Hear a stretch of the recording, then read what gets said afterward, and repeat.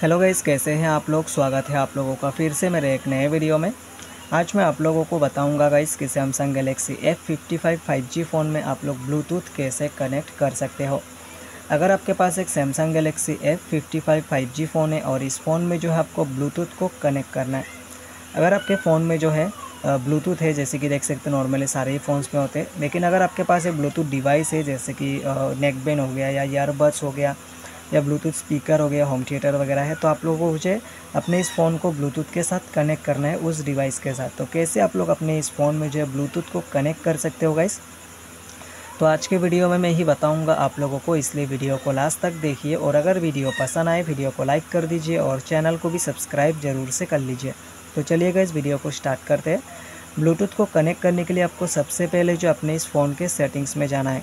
Settings में जाने के बाद कनेक्शंस का ऑप्शन आएगा। कनेक्शंस पे क्लिक करेंगे।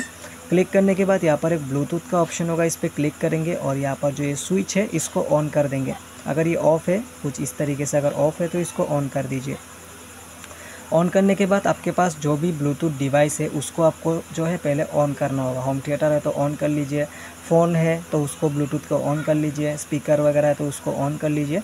ऑन करने के बाद यहाँ पर जो आपको उस डिवाइस का नाम आ जाएगा। जैसे कि अगर मान लीजिए रियल का जो है कुछ ब्लूटूथ स्पीकर वगैरह है तो रियल का जो नेम है, वो यहाँ पर आ जाएगा गाइस तो आपको क्या करना है गाइस इस नेम पे जो है आपको क्लिक करना होगा। स्कैन भी कर सकते हो, अगर स्कैन करना है तो यहाँ पर स्कैन पे क्लिक करके स्कैन कर सकते हो।